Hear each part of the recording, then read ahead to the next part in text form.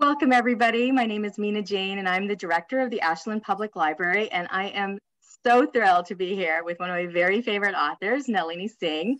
We are going to be doing a free-for-all Q&A, and she's going to answer as much as she wants to. So that is a privilege of the author, right? but before we get to my questions, which I have a lot, so you, I hope you do, well, I'll try to get to yours as well. I do have a couple of things to say. One is that you can buy signed books from uh, Nalini from Bank Square Books, and I will be putting those um, a link to that in the chat. So feel free to order her books and get, you know, signed books are gold. Everybody who knows me knows that. Um, if you have questions, and I know you do, put them in the Q&A and I will uh, be asking Nalini during the talk about what, what uh, questions you have as well as mine, like I said, because I have a lot. Um, and I always like to thank the Friends of the Ashland Library for supporting our programs because we couldn't do it without them. And I also want to thank Erin Galloway and the people at Berkley who helped us put this program together because um, they're awesome to work with. And I really love um, all the authors that they work with and just um, their willingness to uh, bring their authors to their readers. So thank you for to them. Okay, so I was going to introduce Nalini, but I sort of feel like she does not need introduction. She is one of, like I said, one of my favorite writers who started out with um, Harlequin books back in the day and now writes the Psy Changeling series, the Archangel series, the Guild, uh, Guild Hunters, I'll call it, right? And then um, the Rock series and now Mysteries. And um, I have to tell you, Nalini, that when you first started branching out, because I love the Psy Changeling series, I was like so mad. I was like, what, what, what? How will I get my books? But then you made me love the Archangel series. and I was like, okay, all right, all right, okay, it's good. so tell us a little bit about yourself if you would like to. But my first question to you really is what is your origin story as a writer? When did you start writing romance? And um, I know you said you write all the time, but like when did you really think I could do this for a living? Um, so I started writing quite young, um, just all kinds of writing, um, even before I was a teenager, I think. But um, I started taking it really seriously when I was a teenager. In terms of when I thought I could do this as a living, honestly, not for a long time. I didn't know anybody who was a writer. Like I was in the wilderness. I am self-taught as a writer. I wasn't for a long time part of any writing groups or anything like that. So I actually did not know. Like the people who were writers, like you know, quotation marks, you know, they they were just people. They were like celebrities, you know, not actual people that that that's how I thought of them in my mind when I was younger. And um, and I think particularly in New Zealand, it's a very small place. There's I would say there's very few writers who do it for a living. Uh, and um, so, yeah, just honestly, not for a really, really long time. And I think it was in my 20s that I thought, I'm going to give it a go. I'm going to try. I'm going to try to see if I can make it happen. Um, and even after that, you know, it, it, took a long time. There's a lot of rejection along the way and um, a lot of writing, uh, but it's all led me to here. So it's all good. Um, so yeah, I feel very lucky to be able to make my living as a writer because writing for me was a hobby you know it was what i did for joy. And now i get to do that as my work as well. And it's wonderful. I mean obviously there's harder things and there's things i enjoy more but i would never change it for the world. I i overall i love i love it. I love um, even when i'm like today honestly i spent 30 minutes on a single line because that line just wasn't working and it's really important and it drove me crazy. But when i got it when i got it i was like oh okay yeah it it, it just settles and it mm. feels good and yeah so i love it. I love i love what i do and i hope i'm doing this you know forevermore. Well I, I know on your website it says you'll do it until they you know take the pen out of your cold dead hand or and I'm with you, Nalini, the whole way. I think I might have made up the cold dead hand thing. I think it's got like keel over the keyboard, which is pretty similar, you know. Yeah. Yeah. yeah. um, well, the, either one works as long as you just keep writing. Um, so I want to know, how did you come on the idea of the Psy Changelings? Um, did it sort of like fully form in your head this world, or did it evolve as you wrote more stories? So even though I started with, as you mentioned, the category Harlequin books, um, I've always been a big science fiction and fantasy reader as well. And at some point along the way, I figured out that you could put them together, you know, the romance and the science fiction fantasy, because that's what paranormal romance is, or urban fantasy romance. And so I was always fiddling with ideas in the background. And but this particular world, when it came together, it was a lot of my ideas that I'd been thinking about for a long time, but thinking about them as separate ideas. So one of the ideas that have been circling in my head for a while was um, obviously I love paranormal romance. So I'd been reading a ton of shapeshifter books at one point, and I was like, I don't know if I had a bad run or what, but everybody in these books did not want to be a shapeshifter. So it was like some curse, you know, like that they mm-hmm. hated it. And and I was like, I think it would be freaking cool to shift into an animal like a leopard or a wolf. So that was one idea that was sort of circling in my brain. And the other idea was um, I, am fascinated by the human brain and the capacity um, that we have, um, you know, for growth and what we can do with it and and i thought well you know what if we had actual psychic abilities? And what if it drove us insane? And you know so these ideas were sort of separate completely separate ideas. And then i remember i literally remember sitting in my apartment. I was living in japan at the time. So i'm living i'm sitting in my apartment and the tatami mats there and i can see out my little i was on the second floor of an apartment um, building a little one. And i could see through the glass doors and I was opposite like a school, but it was um it was like the weekend, so it's completely empty. I lived in a town that had like one street light. Okay, so this is how small this place was. There's like one street light, and when the crossing signal went, I could hear it from my apartment because it was so quiet. So it's this really quiet place, and I'm just sitting there and I'm just staring. And for some reason, I remember staring at the um, the air conditioner, and suddenly it just came. It was like a click, um, and I wrote obsessively. Like um, I've spoken about this before, and and I wrote Slave to Sensation um, within a month. Um, I was working full time at the time. Um, I ate peanut butter toast for dinner every single night, and I literally just wrote around work. So like I did not go out on weekends. My friends were like, "Are you are you a hermit now?" I'm like, "Yes, yes, I am," because I was so obsessed with this book. And normally when I write, I write very rough drafts, like super rough. It's like a skeleton story, and then I fill everything in, and sometimes not even in order. I write scenes, you know, all over the show. But this book, it it came together like it had been growing and growing and growing in my brain for years with all those ideas, and and that first draft it was actually really clean and there's actually a lot of that first draft in the book that became the published book Mm-hmm. So I think it was just the right time for the idea. I was ready to write it. And as a writer, I was in a place where I could write it because um, I think as a writer, I know I've developed skills as I've gone along. Each each book I've written, each story I've written, it's given me more skills as a writer. And I think that moment when Slave to Sensation came together in my head, all the all the dominies were in position. You know, it was like, mm-hmm. okay, it's time. Let's do it. So we did it. Yeah well i know for myself and i think for a lot of people here you know one read and that's it. You're just completely entranced with that with that world. And i do want to point out to everybody that nalini is wearing a Psy shirt you know the world of the Psy.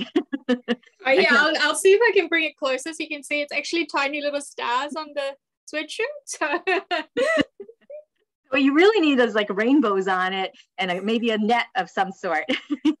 yeah, I need to maybe get some rainbow earrings and then it'll be like a little bit of, you know, both represented.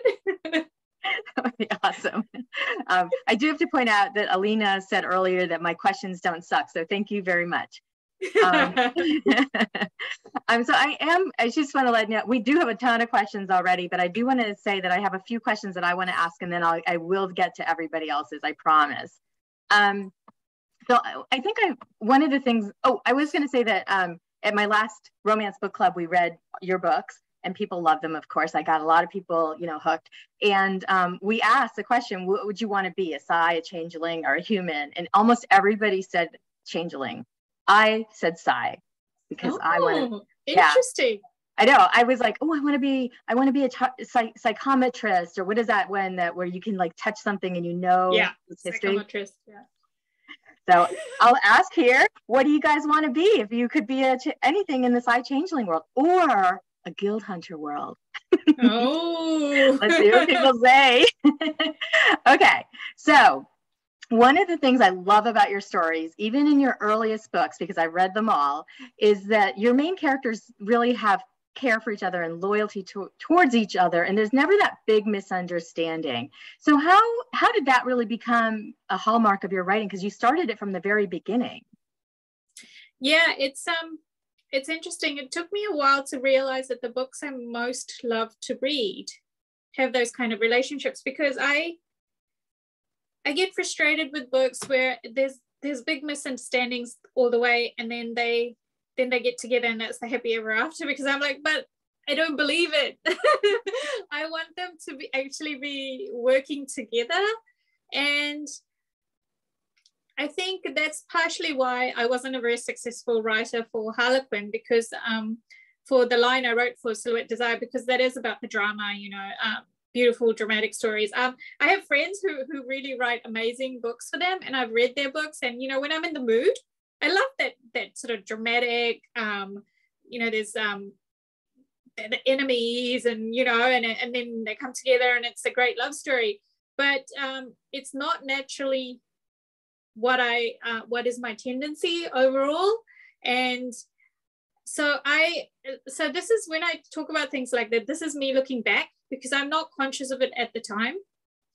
But I've, uh, this is something I have come to realize that for me, I find the most pleasure in growing relationships and seeing where relationships grow. And that's partially why I write series. And I think this is very visible in the Guild Hunter series in particular, because we've got Elena and Raphael. And in that first book, that first book ends where I think a lot of books would end, where it's like that there's they finally come together after all this drama and then it's the ending, right? But that's not enough for me.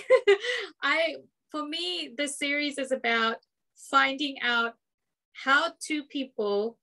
So sh- this is a, a human or a mortal who's fallen in love with an immortal.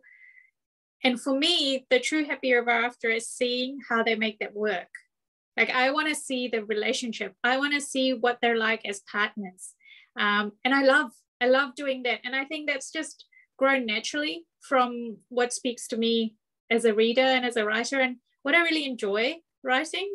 Mm-hmm. Um, even in um, so one of my Harlequin books, I always make a joke that so secret baby is not one of my I don't like secret baby tropes. Okay, so I, I argue with this with one of my closest friends who has written you know secret baby books. She's like, oh, they're good, and I'm like, yeah, I like yours, but I like it's not.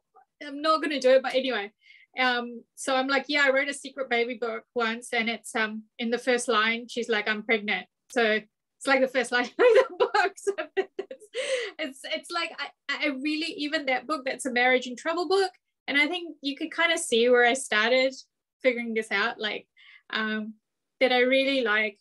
I like I like relationships mm-hmm. and the building of relationships. Yeah. Mm-hmm. Well, both series, of, uh, of course, have you know that build and you get to see the characters grow and change and and and even argue sometimes and you're like oh well that's real life. You know yeah, we don't always get along you know? And you then you and that's part of the growth is then you how do you figure that out? Yeah and i think uh, like i'll just stick with the raphael and elena because um just because i mentioned them before but you can see that um i think especially in uh the second book and the third book Archangel's Kiss and Archangel's Consort. You can see them struggling to adapt because it's like they're two completely different people in two completely different worlds that have come together. And it's like how do we make this function? Because the love is there. And that's that's critical to me. I didn't i never wanted to write a series where we were in any doubt about the love it's not about the love it's about all the other stuff around it which i think makes it really interesting and actually makes the relationship deeper because we get to see okay they're making choices they're, he's making a choice to actually be a little bit more human you know and mm-hmm. um and she's making a choice to to look through his eyes like he's lived a thousand five hundred years he's not going to act human um in in the sense that maybe she's used to so i love all that stuff i mm. love going deep into relationships and figuring out how people you know work and how they work together I think you do that so beautifully because it just keeps us coming back for more. And I say us because we're all we're all you know I'm saying the truth. um, so another concept that runs through your books that is that I think is so powerful is that that emotion and with that without empathy and emotion, the only thing left is a vacuum of power and corruption. That's sort of like what I get from your stories. Um, it's not just with the Psy, but it's with the archangels, as you can see. And how how did you like where did that come from that you have it in both series and it's such a such a a bedrock of those series you know honestly that's one of those things i can't tell you where it oh. came from i think it's just it's one of those things as a writer that happens and it's it speaks to um, so some writers talk about what is our core story um, and and it doesn't mean one story so we're not talking about the plot but it's like a concept or an idea that runs through a lot of our work. Mm-hmm. And I think that's one of mine. I know relationships is one of mine because I love building not just the romantic relationship, but the friendships and you know familial relationships, the bands of brothers, bands of sisters, you know all that kind of stuff. Um, so I think in terms of the empathy, uh, that that probably is just something that I'm really drawn to myself. Mm-hmm and exploring that idea and yeah and it comes out and um and probably it speaks to a lot of who I am as a person and the things the ideas and the concepts that I am drawn towards um because I when I write books it's very much in the character's heads right so mm-hmm. I'm not writing myself I'm writing a character but obviously I am the writer so there's going to be you're seeing the characters through me um, so yeah, I think that's that's a really difficult one. It's, it's an interesting question, actually. I hadn't really thought about that before, but you're right. And um, so yeah, I think that's one of those things that's not something I can explain. It's more like, you know, when um, so I, I did English literature at university and it's like 200 years ago, what was this author thinking when they wrote that? So it's it's that kind of thing, you know, like the outside you has to look in and see like what could possibly have driven this. well, I'm going to have to ask you that eh, like again in like five years because I'm so yeah. curious about that because I had never thought about it either that you know with without like the sire a perfect example of it they've done away with emotion and the only thing people really care about are power or seemingly care about is power and the people that have retained some emotion and empathy are the good you know like the good side or like the still caring and take care of their children like silver the silver family so the Mercant family I mean, they never lost their empathy. I yeah, yeah, that's um it's interesting because I I always want to go beyond the obvious. So what we think is good or bad, and then look at the shades of gray in between because um, we've seen in the series that there's also bad changelings who've mm-hmm. done terrible things driven by whether it's greed or you know whatever so it's it's all about balance and, mm-hmm. and trying to show all the facets and so i find um i think nikita is just a really interesting character for that because there is no doubt she has done terrible terrible things um so in that sense she is very villainous she is a bad character and yet she did a lot of those terrible things to protect her child and she really didn't care who got hurt um, while she was doing that. And so then it's like, well, her child wouldn't be alive now if she hadn't done what she did, but that doesn't mean that the terrible things she did can be erased, you know? So mm-hmm. I just find that so interesting to explore and it's um it's just complicated characters are just really interesting. Mm-hmm. And um it's just like, yeah, I love peeling back those layers and mm-hmm. finding out um, more and more. And it's like, yeah, they're just because they're they're they're made up of so much um like each person we meet in life we only see a facet of them and the interesting thing with books is you can see lots of facets of them because we get to see them through different eyes mm-hmm. so for example we've never had anaya's point of view because you know she's a little kid but we see how nikita is with her grandchild and then we see nikita through the eyes of sasha um, her daughter, and we see Nikita through Anthony's eyes. We see her through the eyes of um, in the in um, I think it was the last book. Um, this memory, you know, how mm-hmm. she interacts with Nikita. So we get to see all these viewpoints, and they they inform our view of who this person is, and it's just, you know, it's just interesting. I, I love I love I love being able to grow characters book by book. Um, so yeah, series, just naturally series writer. Well, like we said, we could read these, continue, you know, for the rest of our lives too. And Chantel mentioned in um, the chat a few minutes ago that it was the second and third books of the Guild Hunter series that really got her attached to the series because then we knew more about the couple while we were learning more about the world.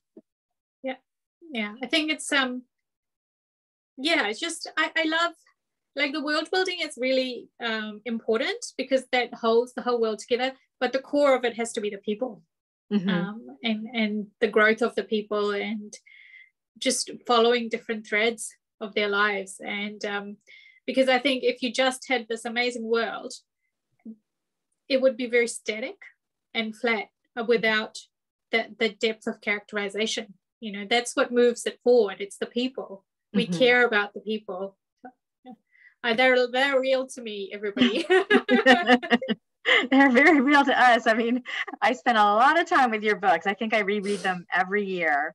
Um, so, and I think, but I think that um, when you're talking about the characters, we also love the world that you're building because, um, you know, when you know, in, in the Psy changelings, of course, we're just at our the edge of our seats. What's going to happen in the Psy world? Are they going to have to tear it apart? Are they going to you know, when memory came along, I was like, who's this memory? and then I was like,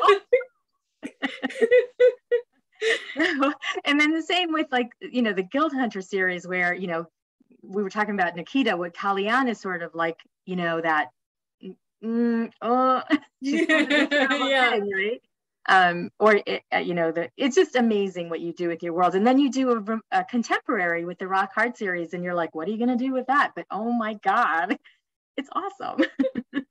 Thank you. Yeah, no, I, I love building worlds. I, I do. I think um, I put a lot of time into it because it I, I love seeing all the corners of the world, right? A lot of it is me exploring and finding things out and wow, this is cool. And that's also why I like write a bunch of short stories because it's bits of the world that maybe we don't get to see in the books. Um, mm-hmm. and I've done novellas um, for that reason and things like that. But um, yeah, I, I think for world building, so for a strong book in this space, you have to have both. You have to have the characters, you have to have against a strong world, and then the overarching plot line. If if an author is writing books like I write, so I speak for myself. Um, I think it's really important that there's a um, there's a really strong thread.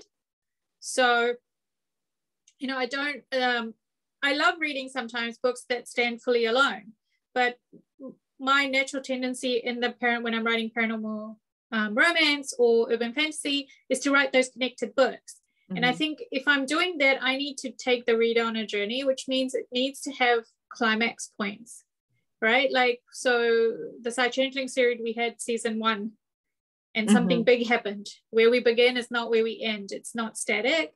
And so um, I want to do that with all my series. So first I blow everything up and then we'll find out what happens next.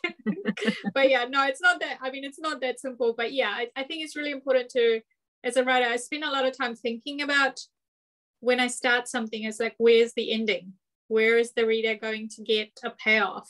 Um, mm-hmm. Um, and I feel like with the Psy Changeling series, you know, you've got a big payoff um, with. Uh, well, Allegiance of Honor is the the book 15, but the payoff is actually before that because Allegiance of Honor is kind of like the ensemble cast and we get to see everything and we get to tie up a few sort of loose ends. Um, it's a nice bookend book, but there's a lot that's happened to that mm-hmm. point. So if you look at the world in Slave to Sensation and look at the world in Allegiance, it's in a completely different space. Mm-hmm. Um, so that's important to me too. Just just making sure the journey you're reaching places on the journey. So it's not just an endless journey. It's like, okay, we've hit this pit stop or we've hit this town that we were heading towards, and it's it's satisfying, right? Like you mm-hmm. can, right. So yeah. Or when you see something in an earlier book that has significant meaning in a later book. So one of my questions was about Keenan and Noor. Did you know when you wrote that their special gift was going to be used later? um, yeah, trying to not be spoilery. Yeah. Um, you know, no, sometimes I don't actually know specific things like that, but it, there's weird little things my subconscious puts in. And and I'm like, oh, I wish I'd put that in five books ago. And then I look back and I did. so so I've I learned to I've learned to trust the process. And um because I always knew that was going to come up um again. So it wasn't like a one off, right? Like, um, so not to spoiler it, but it's come up again um, in the new arc of the series. Um, so I always knew that was important, and um, the same way that I knew the anchors were important, and they're just kind of floating through the books until we get to the point where it's like, oh, okay, boom, this is this is their moment. You know, we find out actually these people that we kind of have been ignoring are actually really, really super important. Mm-hmm. Um, so yeah, quite often I have an inkling of it and then I just go with it. I, I trust the process. I trust my subconscious that it will float up to the top when I need to. I tend to know more about the, the basic structure that's um, of the plot that's underlying all the books. And then in terms of the details, I just let that simmer away. oh, well, the simmering, the bubbling must just be so amazing in your head. well, sometimes it's fun, and sometimes it's me just throwing things at the wall like like a bouncy ball, going, "Oh, It's just can't figure it out." And I can tell when it's not working, so I would rather just drive myself crazy figuring it out rather than trying to fit something into a box where it's it's not fitting. So um, yeah, it's fun. I enjoy it. Oh, good. Um, and I have I have one more of my own questions, and I'll go on to everybody else's. We have a lot of them. Um, I was wondering about Payal and Canto's story. This is a totally personal question. Is when I heard that, I heard Payal is a um, an Indian act, you know, like Indian voice, but the audiobook she didn't have an Indian accent. So I'm just wondering, what is? How did you hear her in your head? Oh, it's interesting. Um, I've never actually thought about that. So I'm actually very audiovisual when I write. Like I, I do hear people. I think she she she would have um, a slight Delhi accent, but not not like a heavy one because she works so much. She's working in Singapore. She's going mm-hmm. around the world. So it's more an internationalized accent. If um, trying to think of someone who who I've heard who has that type of accent is probably an actress or someone that that works internationally a lot. So there is the accent is still there, but it's it's softened just because mm. she's out and you know in different parts of the world so much so so yes yes yes but did so you heard her with a little indian accent uh, yeah. okay all right just want to make sure i wasn't off there. Um, so i'm going to go there's been lots and lots of comments and questions and things but um, one thing uh, on facebook i don't know if they're still with us they um, when i asked if they want what they would want to be Psy changeling um, or human they said a beer changeling and i don't know if that is a typo but i think that's awesome. A beer changeling that's that's the best typo ever for the bears. Yeah i love it. Very apropos. Thank you very much. Okay so donna asks what happened to destiny's rose? What happened to destiny's rose? Um let me have a think. I, I don't want to tell you lies but i'm pretty sure it's actually in the tower when the um, when the house went down. So I need to double check that. I feel like it survived. it's like one of those real tiny details that I always double check. Like, where was it? Um, I'm pretty sure it survived. Um, I know Ilium saved some things, but um, I know he saved the the painting and he saved the crossbow. Um, I don't think Destiny's Rose was in the house at the time. So I'm pretty sure it's it exists, but don't hold me to that. I will double check my notes to make sure I'm not telling you lies. okay, we'll we'll look for some sort of thing about that. Um, so how would you ship Ilium and A- Aodhan? Would you would it be I- Illidan or Alium? Oh God, no, I like Sparkle Bell. Sparkle Bell. Yeah. Okay, all right, thank you. all right, that one's resolved. Um, will Vivek get a book? Vivek? Um, I did always plan to give him a book. So um, he is being a bit stubborn. So we'll see. Uh, he is, I find him a really, really interesting character. I think he's, his backstory is just so um, fascinating. And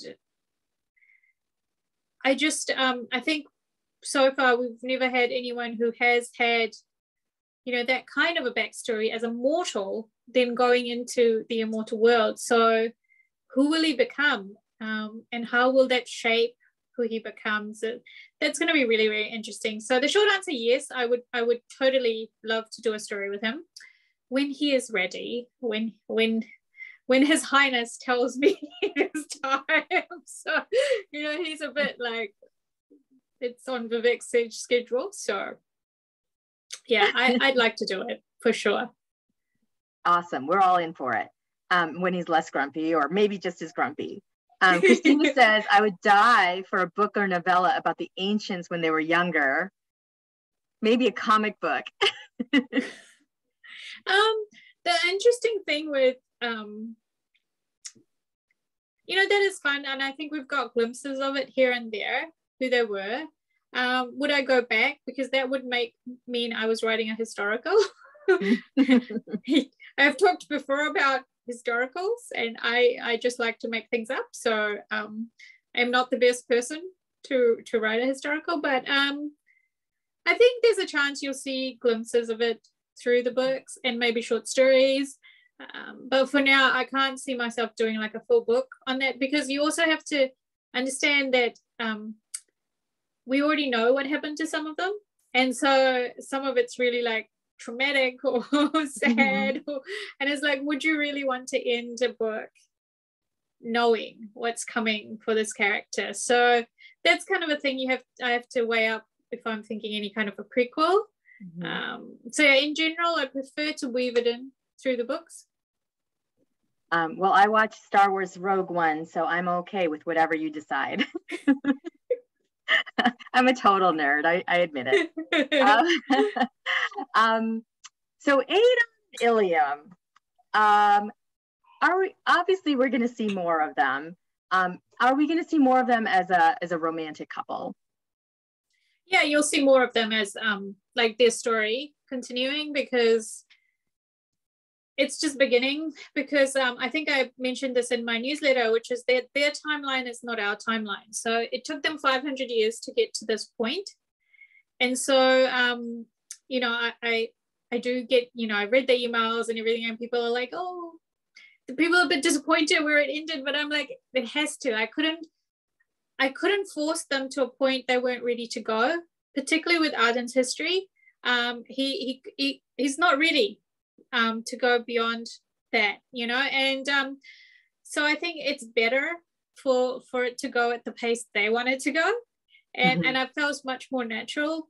And um, so yeah, I definitely want to see more. I want to see again. I want to see what this relationship goes now because they've changed you know they've changed the dynamic they've made mm-hmm. the choice to change the dynamic and so as they said you know how much trouble can we get into anyway so be fun to find out.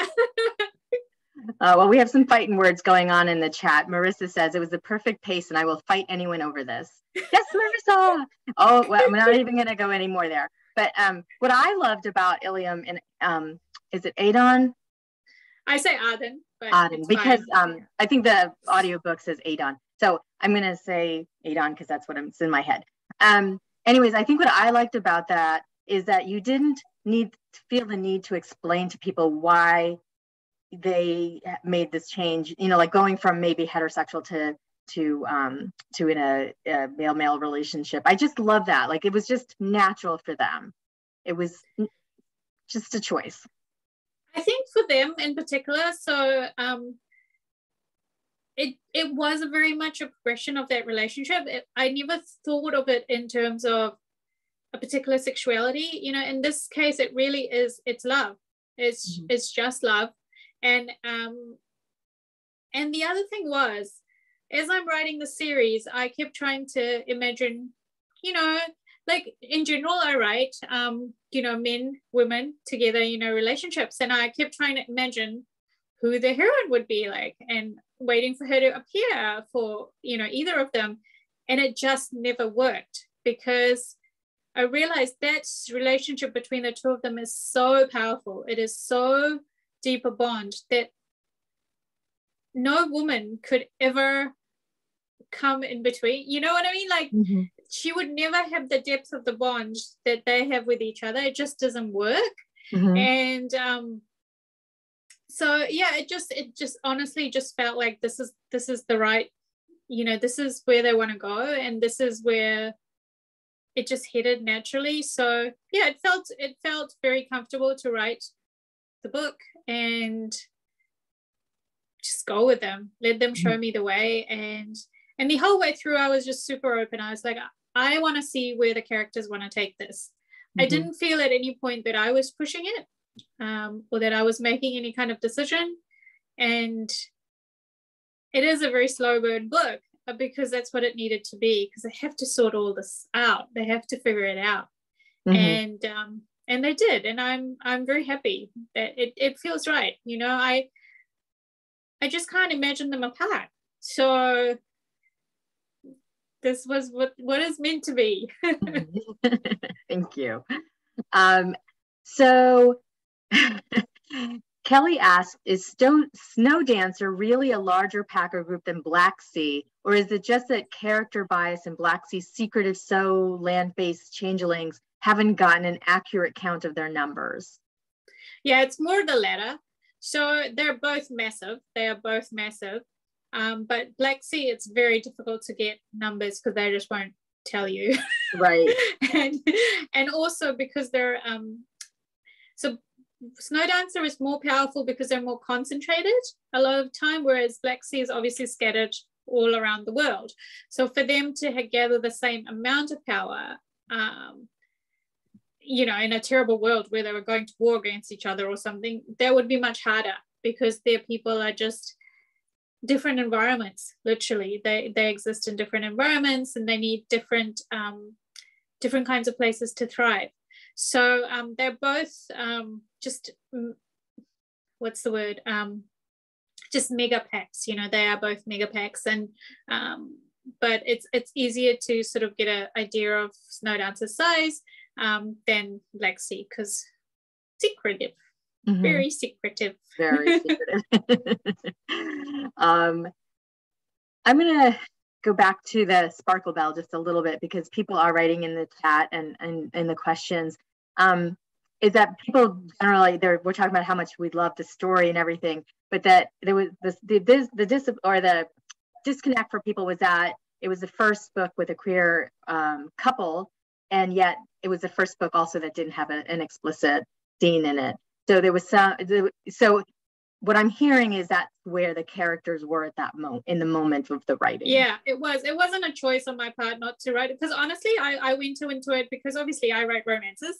Mm-hmm. So and I, I've always written love scenes, and I thought, yeah, sure, you know, that's that's what I thought. If you'd asked me ahead of time, I would have said, yeah, sure, of course. But um, I when I was writing it, I actually at one point um, I thought, okay, let me see if it works. It just doesn't work. It didn't work and um and i just had to accept that. And i had to and i was like i'm sure people are going to be mad at me for not writing it but i wasn't going to push it just to get it in there. Um and the other thing is um if this had been the only book i was going to write about them then sure i would be like you know people have a right to be mad. But um it's not you know there's going to be more. They're going to be backs. You will see more of the progression of their relationship. And um, so yeah, I think that will happen when it's time to happen. And I think it's just, I, I just have to keep going back to who these two are, and particularly Aodhan. Um, he's he's just come out of the darkness. You know, he is just emerging, and and they've just taken their relationship to this next level and it's not they just 500 years man they they don't move that fast these 2 mm-hmm. so it, it just logically it didn't make sense. Um so yeah. It would it really would have felt like i was i was forcing it where it didn't fit.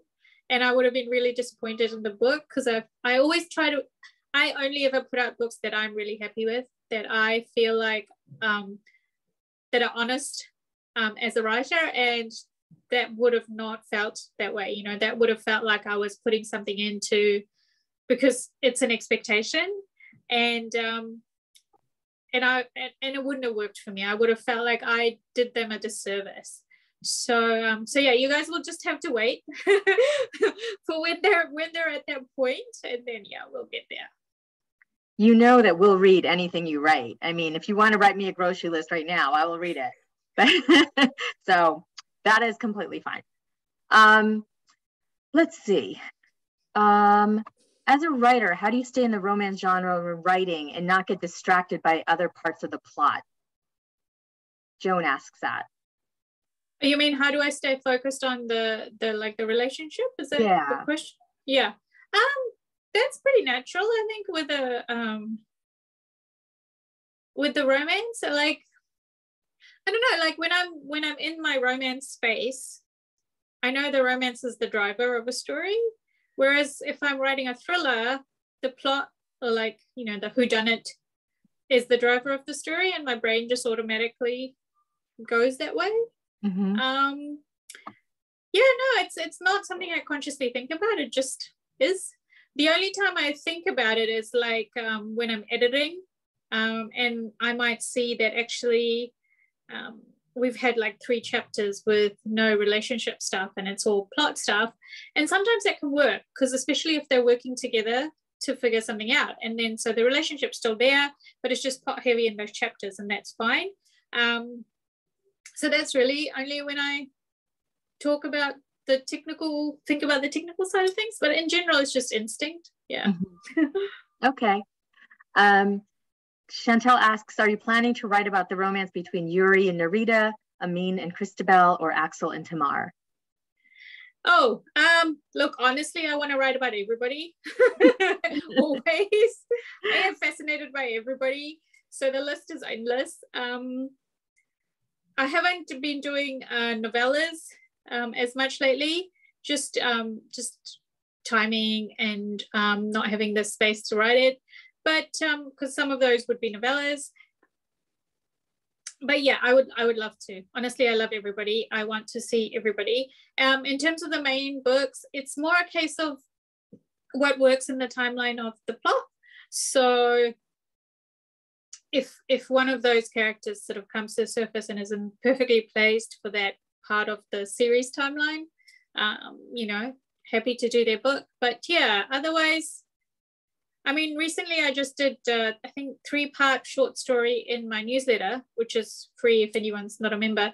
And um, and it was Zara. You know, I always wanted to write Zara, and I just couldn't couldn't get her into the books, and I couldn't figure out how to do it. So I just did this short story so that you know Mm-hmm. Um, poor Zara has been waiting since book one, so who made it happen. So yeah, I think um, you know I'm going to be writing this till I'm 99. People, it's fine. We'll we'll get to. but there's always more people. Like, what about Adam from the the Eagles, and what about you know, like there's always like this more. So I, you know, that's okay. I, I won't complain. I know. Um, Mandy asks, what made you choose angels yet keep them really not traditional angels? That's just how they came to me, to be honest. Like, um, I think because I've been thinking so much about immortals. And um, again, I'd been reading stuff and I was frustrated with how human the immortals seemed. Just immortals in general, it wasn't angels specifically and so when my and i was just constantly thinking about well if you live 10,000 years would you act human would you even be human in any way um, in terms of your thinking or your emotions and so i think when my angels popped up in my head they were very inhuman and um, just really really powerful beings who lived a really long time and were shaped by that so um, and i I knew from the start these were not like sort of um, what shall I say, not religious angels. You know, these were another species um, that we shared the planet with, and this this is who they were, and it just ran with it. Yeah. Mm-hmm. Well, I think that um, again, the world building where you created this, you know, they the ven the, the venom thing, that the thing about the vampires and how they have to inject them, otherwise they become crazy, like Uram. Was it Uram? And I, yeah, I was like, yeah, my gosh, that's so amazing. Like you wouldn't like who thinks of that? Nalini Singh. yeah. Yeah. It's some of it, it's just like when I'm writing, it just comes out and mm-hmm. I don't consciously make a decision because I not a planner when I write. I mm. just mm. I just go with the story. So um and that was funny. If I'd actually thought about it, I would have been like, this is super weird. Who's gonna read this? But um I just wrote it because it was fun. and yeah, it, it worked. So I think um, I always tell you know young writers in particular like trust your gut you know i think sometimes people start to judge their own work too early and um, but if you go with your gut you know you can come up with some really fabulous ideas. Like trust your instincts and trust your subconscious and mm-hmm. just go with the crazy ideas mm-hmm. and see what happens. Right. Well i also think that you know um, when you when i discovered you there was a lot of paranormal out there. And a lot of it was like you said very similar. You know they didn't want to be a shapeshifter. It was agony. It was torture. Um, you know it wasn't happy.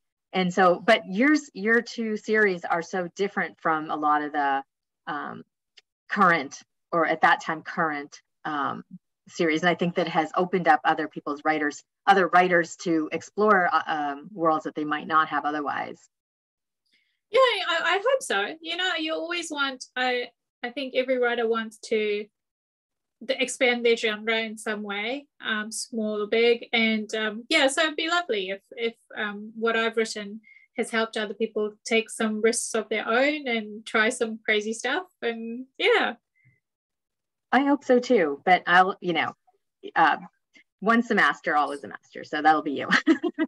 I'm hearing a lot of chatter about the Legion, and I have that question too. Is the Legion coming back? We miss them. I don't know. I don't know. I don't know. We'll see. I don't know. I honestly don't know. It's it's my I'm heartbroken that um what happened, but at the same time that was their destiny. You know, that was why they came. And so they've fulfilled their destiny and they're heroes, you know, they've um but yeah, it makes me cry when I think about it. I get really emotional.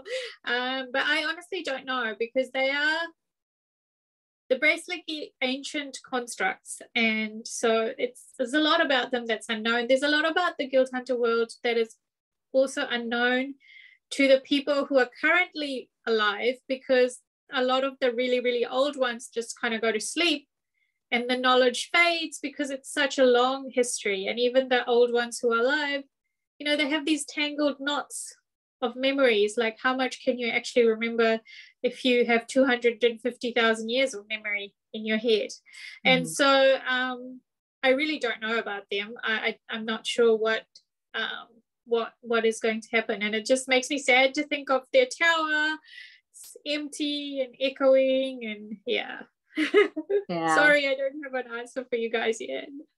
Well, their relationship with Elena was just so so heartwarming. You know the way that it built and it changed both of them. So I, I thought that was just so well done. Uh, yeah. I um, um, I saw Stephanie said Elena is minding it. Yes, yes, she is minding it. But I mean the emptiness of it not being filled with the with the Legion is is, and I think that's what Elena feels as well. You know, it's it's so sad that this place that they built and that she's caring for because she she promised she would and um but you know the heart and soul of it's gone because they're not there so yeah yeah um, Elizabeth on uh, Facebook says, I bawled after they fulfilled their destiny. yeah, it was it was really sad. And um, I think even me when I'm writing it, I was like, can I make this not happen? but it had to happen, you know. And again, it's about being honest to the story and sometimes making the hard choices. Um, because honestly, I don't know if this is every writer, but me, it's like I could just keep everybody happy and all my characters would be happy all the time. it, it's not realistic and also would be very boring. I think you guys wouldn't want to hear, oh, this person is happy and this person is also happy. Everybody's happy all the time. Um, mm.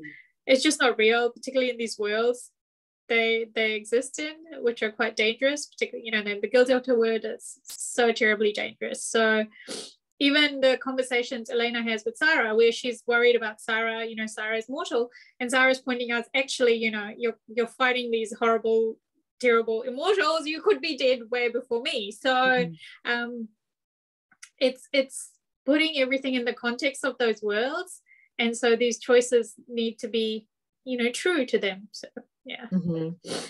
And Victoria says that making them come back would, might cheapen their sacrifice during the war um, I'm sure that you'll find a way to bring them back that it doesn't feel like that if you decide to.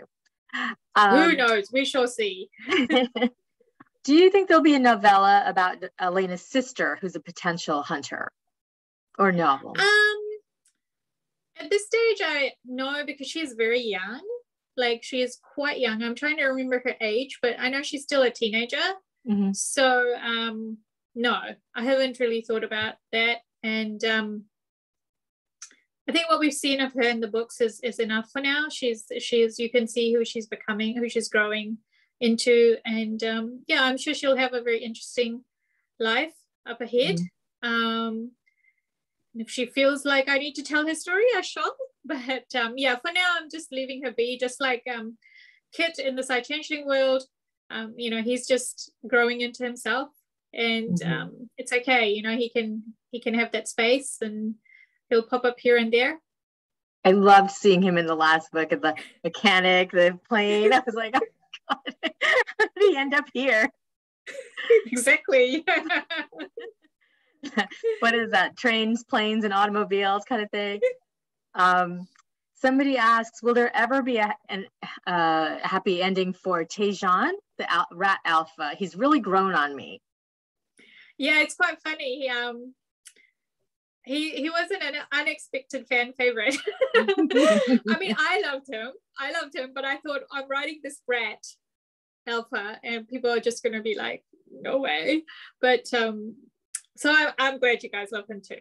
Um, but um, I'd like to think of a happy, you know, he'll get a happy ending. He's a very interesting, fascinating character. I think the story would be super interesting. I don't have a hint of his heroine yet. She hasn't sort of revealed herself to me, but um, it's always there in the back of my mind. I never forget Teijan because, um, yeah, he is this. I think someone used the word suave in there. He's very suave, you know. I just see him as like this underworld kingpin, and he's he's amazing, and he's so he's an alpha, you know. He looks after his people, so he's got that protective drive, and yeah, he would just make a great hero. Uh, but yeah, it has to be the right woman you know so someone willing to go into his world because as alpha you know he's not going to leave his people and move into hers. So if she's someone from an outside world like not part of the, the underground network already that would be really interesting. But um, i have no idea right now. So we'll just keep an eye open and see see who appears. Okay well sounds like it won't be an eagle wow, can you imagine? well, you do you do like match up some very unlikely characters. It could be like a Ladyhawke. Remember that um that oh, old yeah. movie with the yeah, you know, they just touch at this this one moment and oh I love that movie. Me too. We were just talking about our favorite 80s movies, and that was one of mine. Willow, Princess Bride, all of them. Um, that was very romantic. So a big question that we all have on our minds is when are we going to get some more about Nikita and Anthony? I don't know what's going on with these those two. Okay, so I don't know when whenever they decide. so whenever they decide, that's when you'll get more. It's. I mean, I know they're my characters, but they have very much their own personalities and their own drives, and and yeah, you're just going to keep seeing them through the books because they are they're very powerful people in the world so they will appear not in every book because they don't have a role to play in every book but i think they'll they'll be popping in and out we shall see okay um let me see. Will we find out what happened to Tatiana? I think we know what happened to Tatiana. Still happening to Tatiana, as far as I know. I mean, it was Kaleb, so. Yeah, yeah. yeah. Um, do you think Tasha and Elena can ever be friends? Uh, who's that? Tasha, Tasha and, and Elena? I think they have a mutual respect, right? But I don't know if friendship is a possibility at this point in time. Maybe ask me again in a few hundred years, you know, in the mm-hmm. world. Um, right now, uh, I think um, I can't remember which book it is. Elena has respect for her because she is a fighter. She is heroic, and I think the same in return. You know, Tasha sees who Elena is. So um, and I think that's an interesting dynamic also to write, like two women who maybe are not friends, and you know they aren't friends um, right now, and perhaps their friendship is not a possibility, but you can still respect someone for mm-hmm. who they are without being friends with them. So that's where I, where they are in their relationship. So mm-hmm. yeah. Well, I don't, I don't know if they're going to be heart to hearts between those two anytime soon. Yeah. I don't know if I'd want to hang out with my husband's ex girlfriends, you know? yeah, exactly. You know, it's like, would you really? yeah. It no. happens sometimes, but it's not so close, I think, particularly to, because you have to remember, um, like these books obviously have been going on for a while, but the timeline of the, the series is not that long. So it's, it's actually a very short timeline. So everything is quite mm-hmm. close um, mm-hmm. in terms of the emotions of, of, of all involved.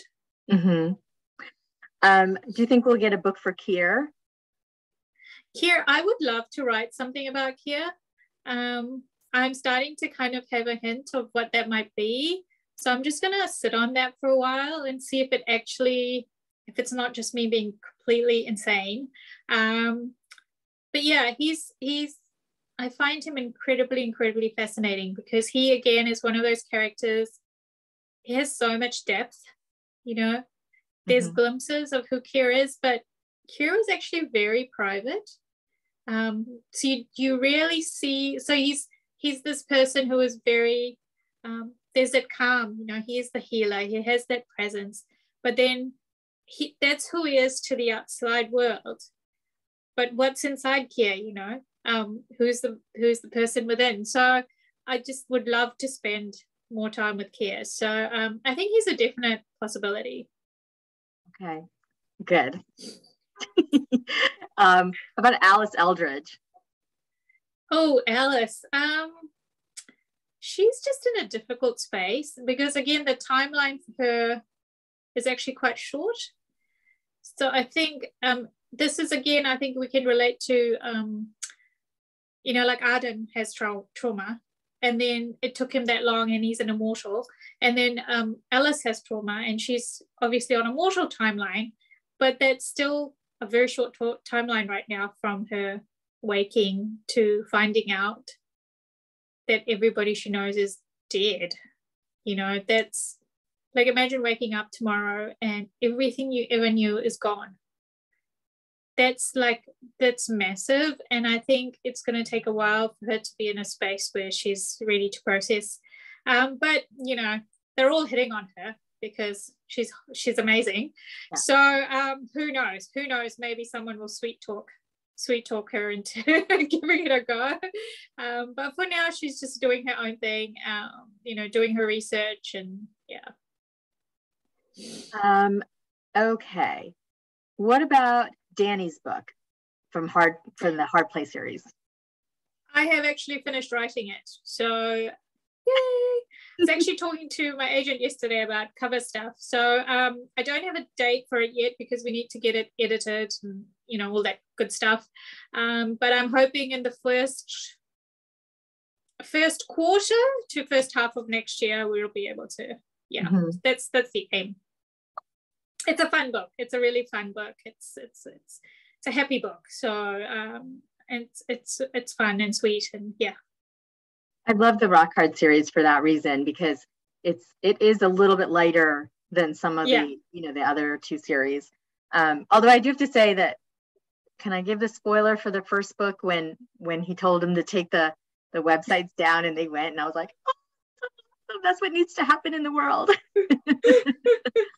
yeah, right? yeah. Um, I think the first books, the rock books, were quite more intense. You know, there was some quite dark themes because um, we had Abe, you know, with the drugs and all that kind of stuff. And then the second um, sort of spin-off um, books have been lighter because it's around this family and um, the friendships and and the falling in love. And yeah, I just I just like having all these different things. And I think um, this book is really good for this time. It's good for me to write it. It's it's fun and I mean our world's been kind of dark and intense for a while. so it was it's a nice like it's a nice um and it feels very natural to these characters, you know, just mm-hmm. the back and forth and the banter and the just just it's funny, you know, they're funny together and they're fun and sweet and young.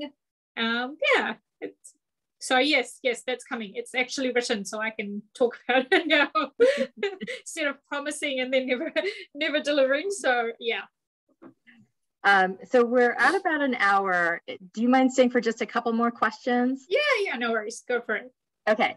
So i told you earlier today i saw on facebook somebody asked how tall are elena and raphael in the seven Okay, so I would actually have to pull out my folder. I actually write stuff like this down. I have everyone's schedule, um, like stats, um, but the folder is too far away for me to reach. So um, it's in the books. I mean, they're both Elena and Raphael are both tall. He's a bit taller than her, but not like a crazy amount. So she's not um, she's not six feet tall as as far as my memory goes. Um, maybe if she puts on her boots. Um, so um, I'd be guessing. I, I want to look at my see. This is why I don't answer specific questions without looking at my my Bible because I want to be very very. she's five nine. Yeah, she's. I think that sounds roughly right. It's which would put him at like six four ish, something mm-hmm. like that. So yeah. Yeah, I mean, Rough. in some of the the paranormals, you know, like the demons are like seven to eight feet tall, and you're like, how can they even, you know, have sex? How, you know, how women. I'll tell you a little trick authors use, like when they're working stuff like I use it for fight scenes, but um, oh, it's just on the other side. I was pick it up, but you can get these little dolls um, that they that artists use a lot to work out um, how things move. Anyway, you can use that for like I use it for fight scenes. I do know some authors who also use it for for sexy times to figure out where where everything goes. So that's my story, and I'm sticking to it. Enough said. Thank you. um, okay, so the, uh, I, Jessica says, I wanted all the angel couples to have babies. So I would love to know which couple is the most likely to have angel babies in the next 500 years. So there's a big giant clue in in the books. Um, so somebody is really, really, really, really, really, really ready for for cubs. So I think the chances are high in terms of whether they'll be angel babies or a hybrid is um yeah well i guess we'll find out but yeah that's the most likely Okay, I'm seeing lots of guesses in the chat and I'm all over them. um, are we going to see hear from about Jessamine and her wing? Is she better? Um, again, we're working on an immortal timeline, so things just sometimes move a lot slower than we would like. um, she, it's in progress, you know, and um, she'll appear if it fits naturally into the books. Um, that's the thing I always have to keep in mind is that I would love to see everybody, but I can't because that would just be this weird disjointed story where I'm just putting people into. So um, uh, hopefully um, the books will, you know, if we visit the refuge, for example, in a book, then of course we more likely to run into Jessamine and find out how she's doing. So, but yeah, definitely in the future we're going to find out. Um, and you know, for example, if I do do a Keir book, then Keir and Jessamine are like super tight. So of course you're going to see her. So it all depends on um, what stories come next, and you know where the timelines cross for the stories of the different characters. Yeah. Awesome. But you won't be left hanging forever. I mean, that's what I'm saying. It will turn up, but it just turns up naturally where necessary. Mm-hmm. Um, will there be any characters from Rainfire in any of your upcoming books? Yes. Okay, thank you. and this is the last question. It's a big one. Can you tell us anything about Storm Echo? um, yes, I can. What can I tell you? So I can tell you that um, I'm handing in the book late. Sorry, Cindy, but it's gonna be good. um, no, it's um, what can I tell you? I think I've already mentioned it's we're going back to San Francisco. So people think about who went to San Francisco. Somebody went to San Francisco. Somebody's gonna guess it. So um, in the last book, I see Stephanie has beat everyone to it. so there is a Mercant in San Francisco right now. And um, the the heroine is not somebody you know. So, um, but she is a changeling. Um, so it is going to be a Psy changeling book. um, and what else can I tell you? Um, we're going to see a few people that we know really well. And um, yeah, so it's been really interesting actually. I've loved being back. So there's a scene that I just finished um, editing. So I'm in the final draft and I'm cleaning up the scenes and stuff. And it's um, in Tamsin's kitchen. So that was really fun because that's one of the my most favorite scenes in Slave to Sensation was in Tamsin's kitchen. So it's um we're back there. There are some cubs involved. And um, yeah, so it's, it's it's it's nice to be back um, on that side of the world and catch up with a few people. But we are also going to be getting um, a lot of um, sort of like not updates, but you know, we're still connected to what was happening previously. So this book kicks off. Um, basically, that thread in the last book is not dropped. So we will find out what happens in this book in terms of the plot. I'm trying not to be spoilery for anyone who didn't read um, the previous book yet, but um, yeah, what something big happened in the last book, um, and that's going to be picked up in this book as well. Okay. If somebody, um, Jayla on Facebook says they, they have a feeling it's Pax's book, but we're not saying, are we? no, I can tell you it's not Pax's book. I will tell you that it's not Pax's book. So, yeah. Okay, so I promised that was my last question. Um, so I do have to say that I cannot wait for Storm Echo. I loved all of your most re- all of your books. I like I said, I reread them all the time, and I think that a lot of people here do. And you have brought me so many hours of just pure joy and escape and fun. So thank you. Oh no, thank you. And I have to say, I really appreciate my readers, especially. I mean, for coming along on this journey with me, whether you found me, you know, yesterday or you found me with my first book. I appreciate each and every one of you because as a writer, um, you know, I would always write, but I would be writing in my basement for myself if nobody else read the stories. So thank you for thank you for you know trusting me to take you on these journeys and um, enjoying them and and being involved with the characters. And so I'm not the only crazy person who's thinking about them all the time. It's great to know other people also love them and are thinking about them and, um, you know, are eager to find out what happens next. So, yeah, I love you guys. Oh, thank you so much. Thank you for being here. Thank you, everybody who's come tonight. And um, remember, you can buy signed books from Bank Square Books. And um, Storm Echo is due out, I think, next June-ish. It's uh, end of July. End of, end July. of July. Okay. Yeah, so, July 26th, I'm pretty sure.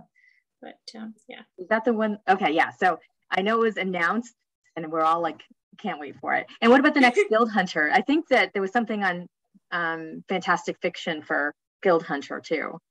Uh, there's got no date, um, so it's it, I don't have a date for that yet. So probably so Storm Echo was just announced, so probably be a few more months until they, they've got a date for the next Guild Hunter. Mm-hmm.